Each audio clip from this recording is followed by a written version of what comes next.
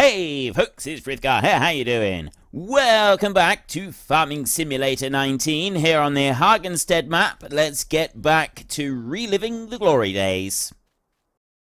Uh, half the height of the rest of the field, and the yield on it was absolutely appalling as well. Uh, it really, really didn't do very well at all. Um, that was the first year. The second year, it was slightly better, because obviously once you start using it things do start to improve a little bit, and that's and that's what happened. It, it slowly started to improve over time, but definitely that first year, that the, the, yield on it was absolutely appalling. There was it, it was almost nothing. Um, but it was quite interesting ploughing it up and and like converting this, which was pretty much it was practically a road and converting that into, I should have just ploughed a little bit here. You know what, we're not going to worry about that. What I'll do instead is I'll bring it up like this. We'll go with it at that kind of angle up there. So for once I haven't actually got a squate, uh, a squate, a square, a straight square. It's a squate. It's a new word. Saves saves time.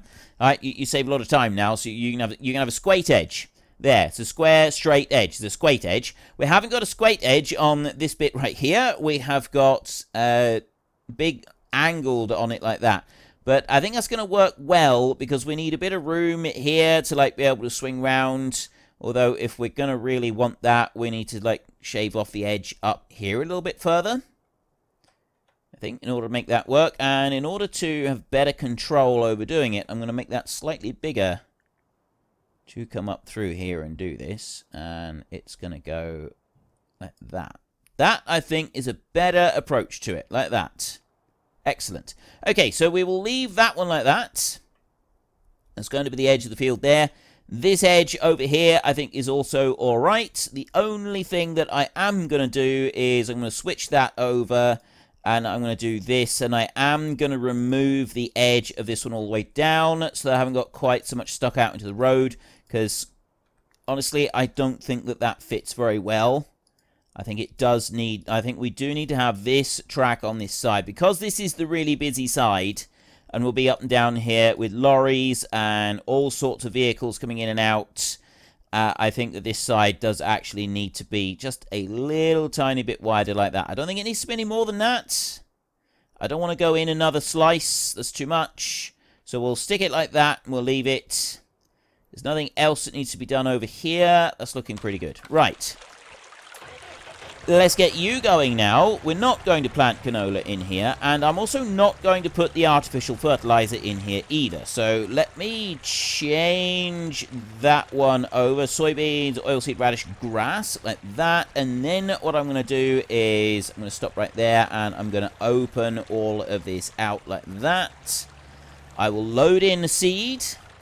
And then when we've loaded up the seed, we will go around the edges and we will plant the grass. I will go here and load this up. Plant grass, grass everything. No fertilizer because we're only using organic fertilizer that we produce from our own cattle. So no cheating on this. I'm, I'm not going to allow myself to cheat on this. I'm going to say that, oh, no, but that bit will count as um, organic fertilizer. It won't. It's not. We will do it like this. We will do it properly. And then we'll come back and we'll put that fertilizer back in afterwards. So we want to go over this way. Uh, I think if I have hired help buy, he won't buy fertilizer on here. I don't actually know. That's something that we need to test. Let's do a strip down through the middle with the hired help. I'll just put the hired help going straight down through here before I start going around the edge. I'm going to run that down into there like that. And then I'm just going to press H on here. So he's going down through and we are buying. So if I go in here and I have a look, that is actually putting fertilizer on there, which I didn't want to be doing. So now if I manually go and do this, is it still going to be applying fertilizer if I'm manually adding it in myself?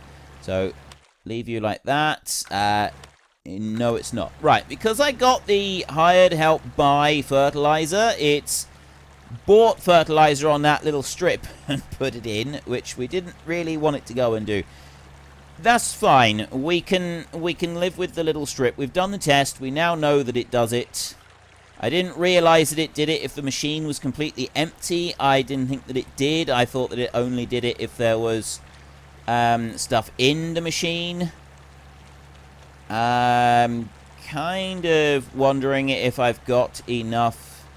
It does look like it's going through. I don't want to leave any patches behind. This is one thing that I don't like doing with grass, is leaving even little tiny spots behind. You know how you frequently get little tiny triangle bits left behind when you're using the hired help on any machines, uh, like on planting when you're doing your arable crops.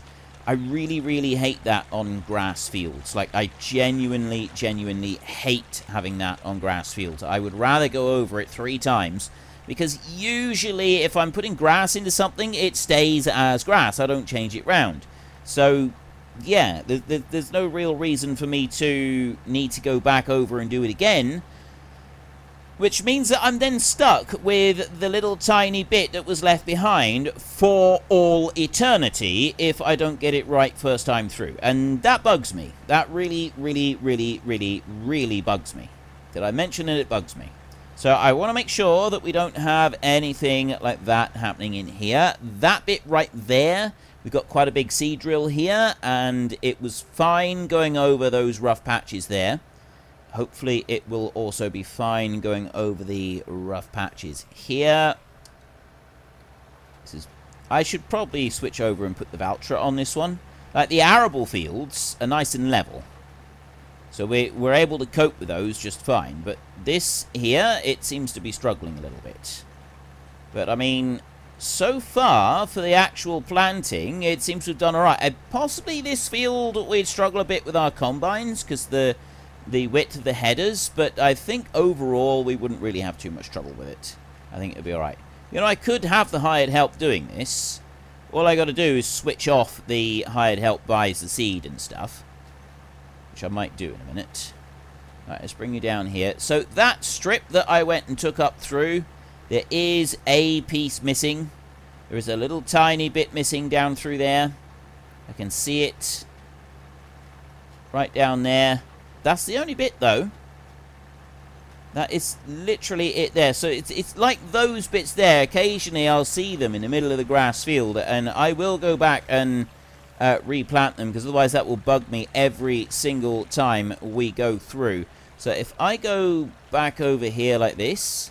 Now that I've gone all the way around the edge. I'd actually like the grass in this field to all come right at the same time. So I'm thinking I'll just plant across everything. So what I will do is if I go into here and then I change this over to seed fertilizer, turn that one off. I can have the seed bit, but the fertilizer stays off. If I bring you out now, what are you going to do? I'll turn the fertilizer one off. He should... He's doing it correctly now. You can see right in there. You can see the color of it now. I couldn't really tell from the colour of it before. That was that was what the issue was. I couldn't quite tell properly from the colour of it. But that's now working properly. That is not buying fertilizer. And I've got that sort of narrower strip coming in here. We'll be able to put slurry over the top of this. And most of, like, those outside edges down there, they'll get one coat, and then all of this up here will be classed as having two coats on it, which will work quite well. Uh, you're going to say that you don't like that because there's something in the way. That's fine. We'll go back over. So I'm replanting the entire field with grass. I'm, I'm actually going to do that. I am actually going to go and do the entire field with grass Go you down there like that.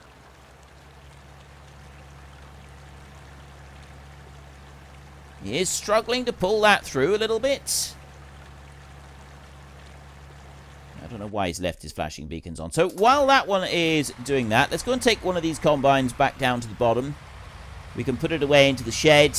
I've got both combines to move, and then I've got the truck to bring back up. I like these combines a lot better than the smaller one that we were using. These go at a reasonable speed. The smaller one only travelled along at about 25k, which meant that it took forever to get anywhere. Whereas this one, he rollicks along at a wonderful kind of speed at 40k, which means that we get to where we want to go before we reach the age of 90, which is, is, is quite good. Um, by the time you reach the age of 90, you're actually thinking about retiring from driving combines up and down. So if, if you can get your stuff done before that point, then that's that's good. That's that's a good thing. Um, well, saying that, I know people who have gone past the age of 90 and still take part in the harvest. They might not do quite as much as they did when they were a wee bit younger, but they still do a fair old slice of it, and they do like to sit in a combine and drive that one up and down. Can't say that I blame them. I really enjoy driving the combine. That, that was one of my favourite jobs that I did. Uh, you up that end. Let's go and have a look at you a second. Are you going to be able to get round without that plough being in your way, or are you going to say, nope, can't do it? Ah, he's able to get through. Ideal. Right, well, we can leave that one there, and I can go to... I'll go to the next combine a minute, and I'll go and put this one away. And then I think we might get the truck from down the bottom and bring that one up, because that's got a little bit of a trip that he's got to go and do. Uh, we've... We're going to need to get the slurry started in a minute. That's got to be done. We've got to spread slurry across all of this that we've now planted. So we've now got two grass fields. And we got one of those grass fields is actually reasonable size with all of the extra land that we have now managed to go and add to the farm because we've been able to plough up that road and up against the riverbank a little bit.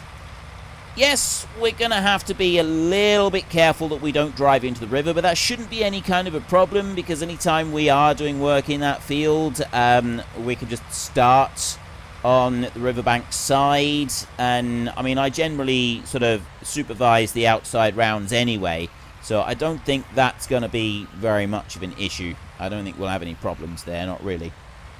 Let's bring you in over this way like that and there we go. The big difference between this and the uh, an FS13 is that this is normal this this is like a, a, normal crop right in the field. The grass is a normal crop. We can use the hired help on it. In FS13, grass wasn't a uh, it wasn't classed as a crop at all. You weren't able to do this, not in any way, shape, or form. So the only way that you could get your just bring that one back in around there. The only way that you could do anything with grass is you had to do it all manually.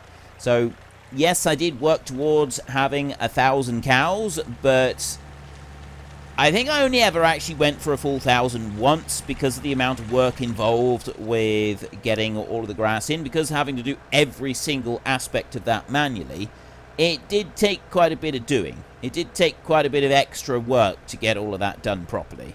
Um, I mean, yeah, ultimately it was kind of worth it just to be able to say, yes, I'm running a thousand cows. But I didn't keep that up for very long. Um, like, it, it was the end goal. And generally, I would get towards that end goal and then I'd say, right, that's it. Um, I've, I've had enough with this because of the speed that the cows reproduced at. Now, our pen at the moment has got a capacity of 3,000 cows. That is definitely going to be interesting. If we do go up to that full capacity of near 3,000 cows, that is definitely going to make life interesting. I don't know how much of the map we're going to have to dedicate to grass production in order to keep up with the feed, because we have to have grass production. It's not like we can choose not to have that. If and like I need to have TMR for the grass production, I got to have TMR. That that just is Oops, I'm going backwards. Um, that's an essential. I've, I've, got to have grass production. Um, I want total mixed ration with our farm. Not having total mixed ration isn't really an option as far as I'm concerned. It's it's got to be done. It's got to be had because otherwise uh, we're only running our cows at 80%, and I don't want to be doing that. So I'm I'm gonna be aiming to have TMR in them all the time, which means I have to have hay, uh, or it, it's just not going to work, is it? Right, you are still doing a magnificent job, so while you do that magnificent job, I'm going to go down here, And we are going to take our truck. A beautiful, beautiful sounding truck. Most amazing sounding truck in existence. Hear it ramp up through. Yes! Engine brake. Oh, so good. So good. Oh, yeah. Changing gears, everything.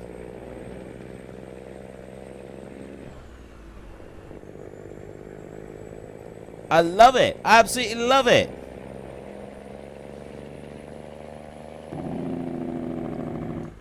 Engine brake.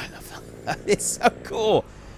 Oh, the sound of this thing is just amazing. It is genuinely amazing. I want the sound files of this truck to be standard in the game for some of the trucks in FS22.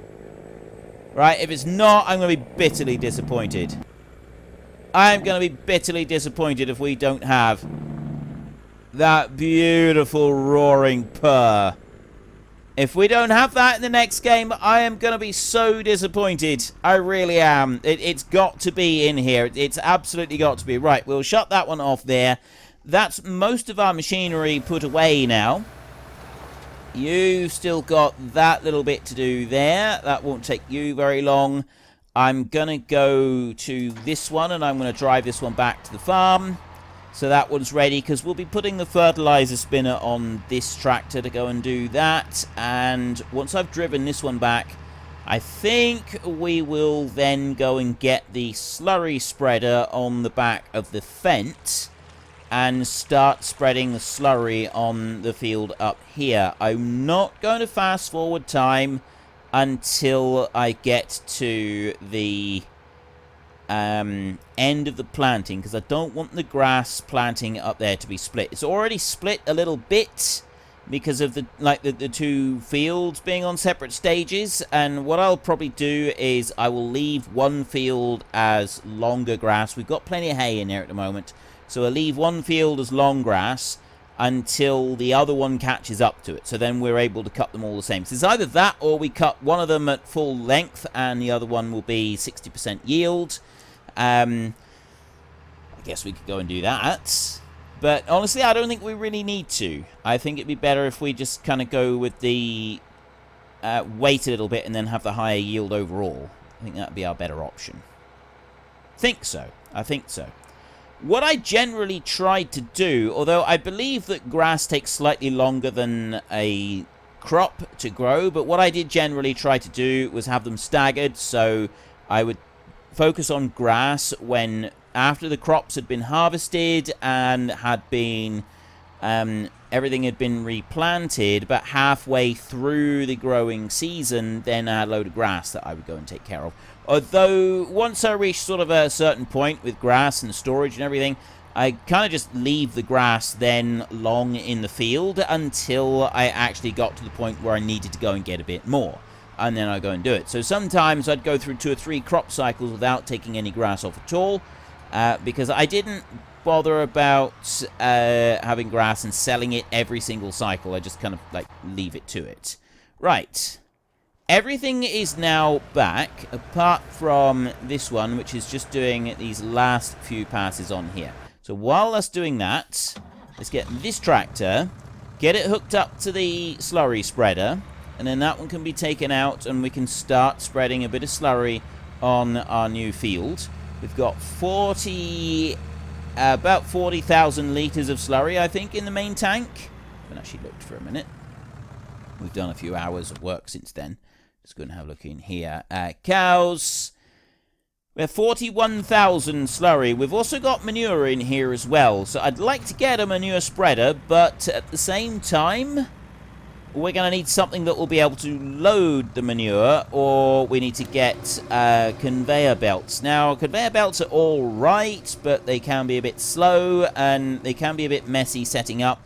The big problem with conveyor belts in our farm that we've got down here is if you have a look at this, unfortunately, the heap for this isn't very tidy. Like, it's...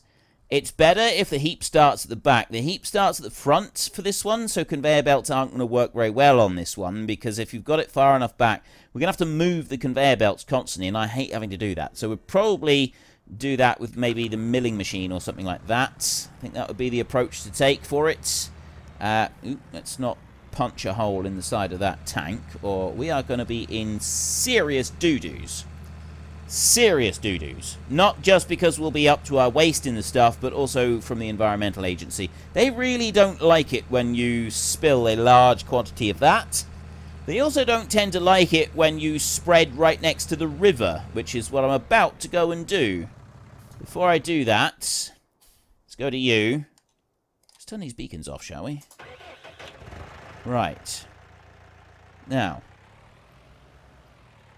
is everything planted? There is a bit right there that is not planted. It's a little tiny patch. It's just, it looked the wrong colour. It's got to be taken out. And we'll go over to the other side and we will check that side as well most carefully to make sure that everything is properly planted. Has to be properly planted all the way through. Now, it doesn't matter if I fast forward time while I'm putting the slurry on the field.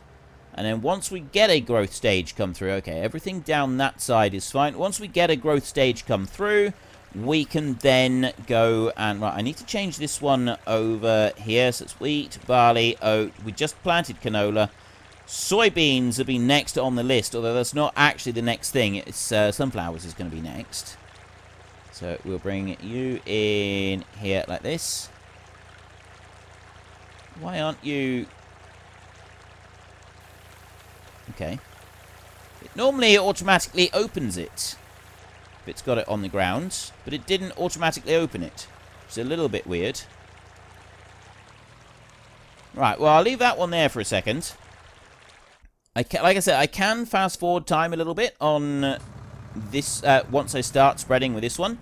Uh, before I do that, we'll go around the edges of the field a bit. I think twice around the edges is what we're going to need to do. I mean, well, twice up and down the sides at least.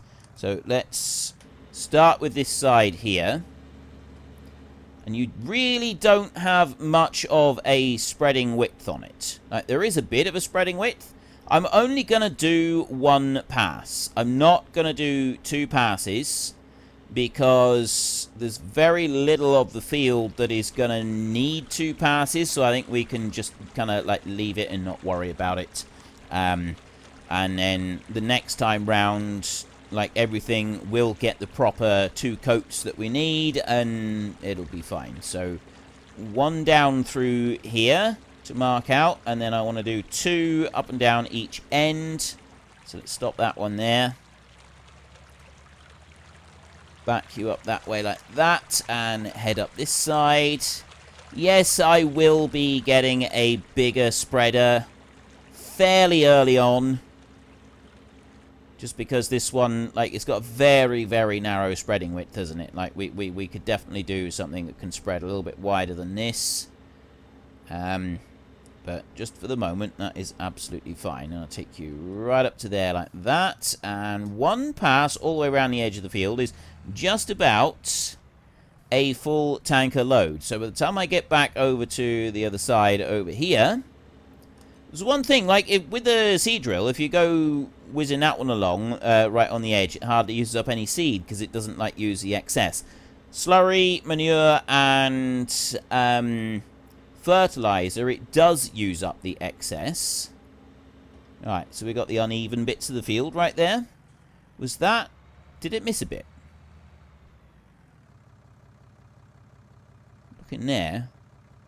I don't think it did. I don't think it missed a bit. Right, so there's 800 litres left. I'm actually just going to leave that in the tanker for a second, and I'm going to run back over here. We can load up some more. I know I said on this field that I didn't want to be going right to the edges because I didn't want to be spreading slurry everywhere as we drove round, and I have just completely ignored that with this next one. Um, but yeah, um, that, that that's fine. We, we, we can ignore that. I'm not even sure if we're going to have enough slurry to get through all of this. I really don't. Right, there's... And that was 7,000 litres has just been pulled out there, and we'd only done once around the edge. So we may end up not quite having enough to get across all of the fields. Could be interesting if we don't. But I'm going to do a second pass down this end of the field right here. And then I'm also going to go to the other end of the field. I'm going to do a second pass. I'm hoping then I'll have enough room to be able to have the hired help turning round properly on each end of the field as it goes through. So uh, run down here like this.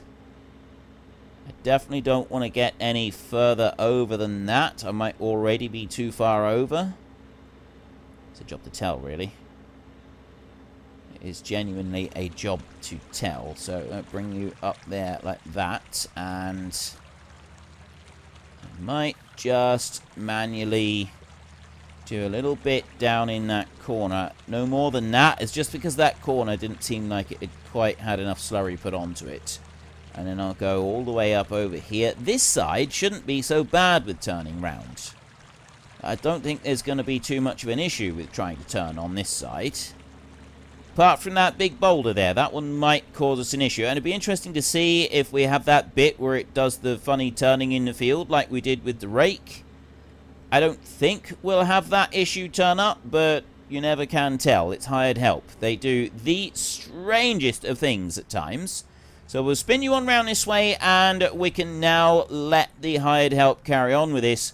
And because I've got the hired help working, I'm actually going to, I'm going to go to there like that. I'm now going to fast forward time. I'm going to, I'm going to sprint forward in time. Although, if I'm working the field, it may leave a section not properly done. Does do that sometimes, doesn't it? Uh, if you're worker. Although that's generally when you just when you're planting. Great demands at the vegetable warehouse. Okay. Okay. What's the great demand at the vegetable warehouse? 207 for slurry. Well, I'm using the slurry, so I can't really take advantage of that. 287, uh, 2,887 litres left. Just a little bit more to go. Right, I'm going to let that one stay there for a second, and I'm going to take this one, and I'm going to start driving away. We can keep an eye on the slurry there. It's got the 4 o'clock.